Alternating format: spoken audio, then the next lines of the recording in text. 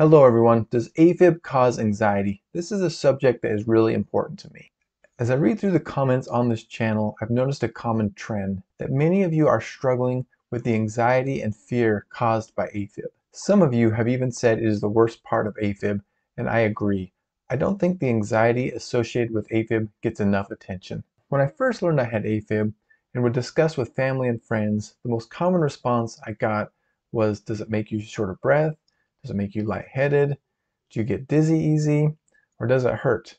All the questions were about the physical aspects of AFib, which makes sense, but unexpectedly it was the mental aspects, the anxiety and fear caused by AFib that were the hardest parts on me. When I got AFib, my personality changed. I was restless, on edge, and had a difficult time focusing on tasks.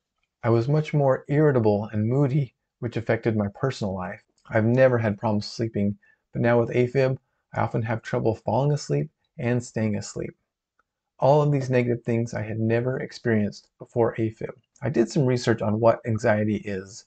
So some of the common symptoms are feeling nervous, restless, and tense, which is exactly how I felt with AFib. Having a sense of impending danger, panic, or doom, definitely felt more panic. Having an increased heart rate, that's pretty self-explanatory for those of us with AFib. Breathing rapidly, sweating, trembling, feeling weak or tired, trouble concentrating or thinking about any other thing other than the present worry. I've definitely had a ton of trouble concentrating with AFib.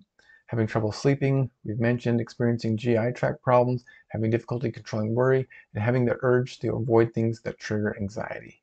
When AFib struck, I definitely experienced the majority of those anxiety symptoms. Before AFib, I was an easygoing, confident, and relaxed person. When I first felt my heart go out of rhythm, I immediately felt uneasy and unsettled, and this was before I knew I had AFib. As my AFib got worse, so did my anxiety. I felt like I was losing control of my life. I came across this article from healthtalk.org discussing the psychological effects and facing the future with AFib.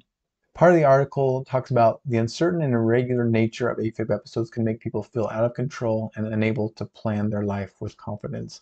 One of the people who this article was written about said he found the unpredictability and lack of control very unnerving and felt anxious that his AFib would eventually take over. I came across another article from the Mayo Clinic that has a ton of useful info.